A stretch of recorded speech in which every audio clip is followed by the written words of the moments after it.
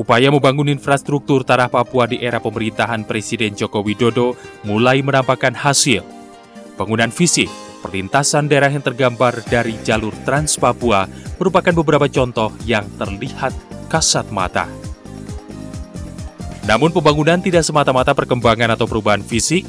Dalam laporan keterangan pertanggungjawaban atau LKPJ Gubernur Papua disebutkan bahwa pada bulan Maret 2017, angka kemiskinan di Papua ada di angka 27,64 persen atau turun dibandingkan tahun-tahun sebelumnya.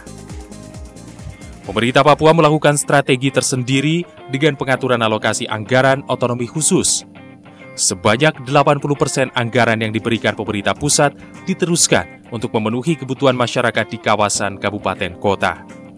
Sedangkan sisanya yaitu 20% persen ditujukan untuk provinsi. Alokasi anggaran ini merupakan kebalikan dari alokasi anggaran yang berjalan sebelumnya. Dengan cara ini, angka kemiskinan berhasil ditekan. Yang fokusnya baik yang 80% di kabupaten kota maupun yang dilakukan oleh berbagai keagamaan, fokusnya adalah pada pendidikan, kesehatan, ekonomi rakyat. Jadi dan ditambah dengan infrastruktur dasar. Jadi ini adalah program-program yang cukup populis ya, yang diarahkan ke kabupaten kota sehingga dengan demikian kita harapkan uang lebih banyak mendekat sama sasaran masyarakat dan di situlah masyarakat bisa berpartisipasi dengan adanya dana yang dikucurkan ke kabupaten kota. Keberhasilan program kerja pemerintah pusat dan pemerintah daerah di Papua tidak hanya terlihat melalui penurunan angka kemiskinan, melainkan juga peningkatan Indeks Pembangunan Manusia atau IPM. Berdasarkan data dari Badan Pusat Statistik Provinsi Papua, Indeks Pembangunan Manusia atau IPM tahun 2016 meningkat sebesar 1,4 persen dan mencapai nilai 58,05. Sedangkan IPM pada tahun 2015 ada di angka 57,25. Meskipun masih terbilang rendah dibanding skala nasional yang ada di angka 70,18, namun hasil yang dicapai oleh Provinsi Papua menjadi yang paling tinggi dalam akselerasi pertumbuhan IPM dari 34 provinsi di seluruh Indonesia sepanjang tahun 2015-2016. Pergerakan pendidikan ini juga berjalan cepat, terus dari sisi kesehatan juga program pemerintah itu mendorong untuk uh, sisi kesehatan juga bergerak cepat, terus uh, masalah ekonomi juga bergerak cepat karena dengan dukungan pemerintah pusat. Jadi uh, kalau kita lihat sebelumnya itu jauh sekali dari uh, apa perkembangan IPM, tapi beberapa tahun terakhir ini mungkin kalau kita lihat dari 2012 yang bergerak cepat itu ya 2015-2016 itu artinya bahwa uh, tingkat pendapatan distribusi pendapatan itu semakin baik. Pembangunan manusia di Papua diarahkan kepada tiga aspek, yakni aspek kesehatan dengan indikator angka harapan hidup. Aspek pendidikan dengan indikator angka melek huruf serta lama pendidikan.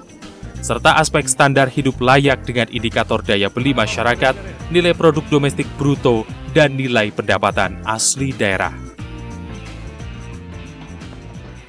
Di samping itu, Pemerintah Provinsi Papua juga gencar melakukan pembedahan kepada sarana dan fasilitas pendukung lainnya seperti sekolah, rumah sakit, dan pasar. Dengan begitu, presentasi peningkatan angka indeks pembangunan manusia di Papua terus terjadi setiap tahunnya. Pemerintah Provinsi Papua melaksanakan dua jalur program pendidikan, yakni program afirmasi dan beasiswa. Sebanyak 350 sampai 500 siswa dikirim mengenyam pendidikan di luar Papua, baik di wilayah Indonesia maupun ke luar negeri.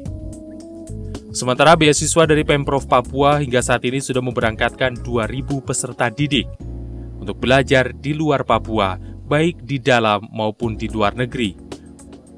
Mereka inilah yang diharapkan menjadi pemimpin yang menentukan masa depan Papua dan kita harapkan uh, pada saatnya nanti mereka ini yang akan membangun Papua masa depan itu Papua emas itu yang kita harapkan setelah mereka selesai sekarang yang sedang kita pikirkan bagaimana pasca uh, adik-adik kita ini menyelesaikan pendidikan. Ya, supaya mereka bisa tersalurkan karena uh, sayang kalau dia sudah pendidikan yang cukup tinggi di berbagai belahan dunia ini tapi kemudian tidak termanfaatkan dengan optimal ini yang sedang kita pikirkan lagi. Berubahnya wajah tanah Papua setidaknya dalam tiga tahun terakhir terjadi karena sukses pembangunan serta meningkatnya kualitas hidup masyarakat. Harapan pemerintah akan konektivitas dan menurunnya kesenjangan harga sejalan serentak dengan harapan dan cita-cita masyarakat. Hasilnya secara pasti mulai nampak dan dinikmati. Ya untuk pembangunan infrastruktur untuk masuk ke luar Papua kami rasa sudah mulai mudah seperti adanya lapangan terbang uh, tentang perhubungan laut uh, pelabuhan yang sudah cukup dan uh, jalan Trans Papua jalan Trans Papua sekarang sudah mulai tembus dan itu yang kami masyarakat ingin supaya mungkin dipercepat dengan perbaikan dan pengaspalan supaya bisa lebih lancar begitu. Dulu kan jalan tidak baik tuh, jalan tidak baik, jadi kita kan tidak jualan. Kalau bapak-bapak dorang, dong kerja baru dong kasih makan kita. Kalau sekarang sudah jalan sudah perbaiki, pemerintah dorang sudah perbaiki, jadi kita sendiri-sendiri jualan, begitu baru kita dapat uang, baru biaya kita pun anak-anak sekolah, bantu sekolah, baru sekarang ini apa kita kasih makan anak-anak begitu. Dengan demikian kami uh, melihat bahwa apa yang dibuat oleh Bapak Presiden kita, Bapak Jokowi, program itu berjalan. Program itu tidak program mandek, diam, tidur, tapi program yang berjalan. Sehingga kita lihat kemajuan dalam bidang infrastruktur, kemajuan dalam ekonomi masyarakat itu berputar.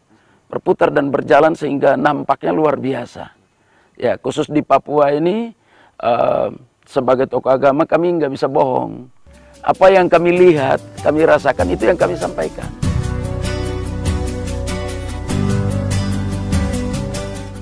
Pembangunan di tanah Papua merupakan penghargaan tertinggi yang diberikan pemerintah kepada masyarakat Papua yang ada di Provinsi Papua dan Papua Barat. Bertumbuhnya infrastruktur, membaiknya ekonomi, merupakan gerak masyarakat Papua untuk melaju seirama dengan wilayah lain di Nusantara.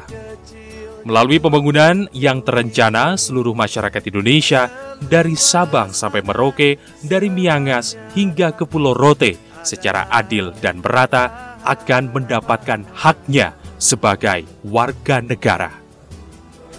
Tanah Papua, tanah leluhur, di sana aku lahir bersama angin bersama daun aku